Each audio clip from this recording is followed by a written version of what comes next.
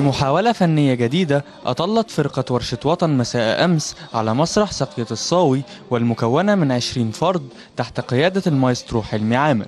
جت فكرة إن إحنا نعمل ورشة آه، آه، نخدم بيها مصر آه، من حيث ال- ال- الكلام والألحان وفي شباب كتير جدا بيغنوا بس مش عارفين يروحوا فين أو يغنوا فين يعني. في نفس الوقت هم بيحبوا مصر عايزين يعملوا حاجة بس مش عارفين يعني. فإحنا دورنا بالنسبة للناس إن إحنا بنوعي الناس بالغنى بنخدم مصر بطريقتنا. كل واحد بيخدم بطريقته يعني. إحنا شباب من آه، 15 سنة ل 25 سنة كلنا writers musicians و vocals كلنا. مفيش حد زيادة عن كده. آه، بنحضر بروفات يعني مثلا في الأسبوع مرة ولو احتاجت لما بيبقى في حفلة أو حاجة زي كده تبقى ثلاث مرات في الأسبوع مثلا.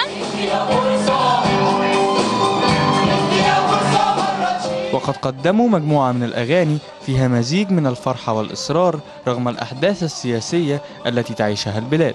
فكرة ورشة وطن كلها مبنية على اللي إحنا بنغني أغاني في حب مصر. آه، وأغاني للمشاكل زي بنتكلم في الأغانينا بتاعتنا الجديدة عن العشوائيات. آه، بننقد حاجات كتير قضايا ومشاكل موجودة في مصر زي الزحمة النظافة التبول في الشارع رمي الزبالة الحاجات دي كلها في أغنية واحدة اللي هي النظافة. شهد الحفل إقبال شديد كما لاقت الأغاني إعجاب وتقدير الحاضرين.